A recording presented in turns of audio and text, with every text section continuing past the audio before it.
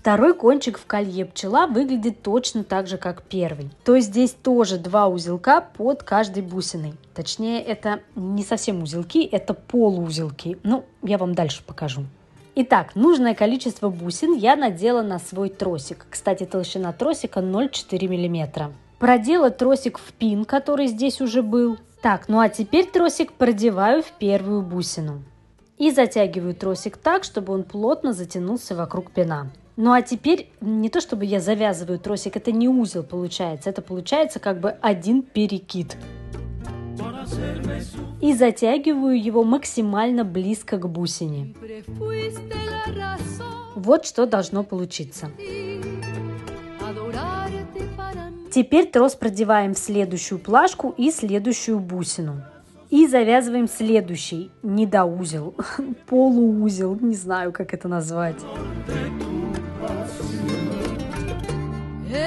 Снова затягиваем трос прям под самую бусину. Я сделала точно как у китайцев два узелочка. Вы для надежности можете, наверное, сделать и больше. Теперь я продеваю трос в следующие три бусины и лишний хвостик тросика отрезаю. Приступаю ко второму кончику. Продеваю трос в пин, который уже был у этого колье. Затем продеваю трос в первую бусину и максимально вытягиваю весь трос так, чтобы все бусины сомкнулись.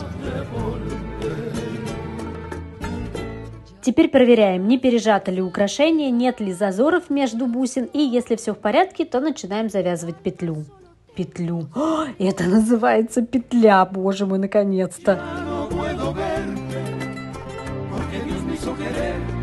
Затягиваем ее опять же максимально близко к бусине. Здесь я помогаю себе инструментами, потому что руки соскальзывают. После того, как петлю зажали, продеваем тросик в следующую бусину.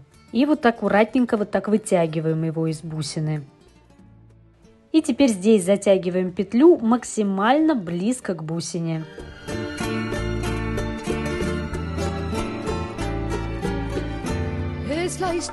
Ну а теперь продеваем трос в следующие 2-3 бусины, кто как привык. Вытягиваем его и отрезаем лишний хвостик. Все, в принципе украшение готово. Вот такое коротенькое колье получилось, вот прям как я хотела. Знаете, я тут подумала, 4 года оно у меня лежало и хранило в себе вот этот секрет новой техники сборки. Если бы я, конечно, знала, давно бы я бы его уже вскрыла. Кстати, если на видео было что-то непонятно, вы задавайте вопросы, потому что я на днях еще, наверное, вот это колье буду переделывать и как раз какие-то нюансы еще раз покажу.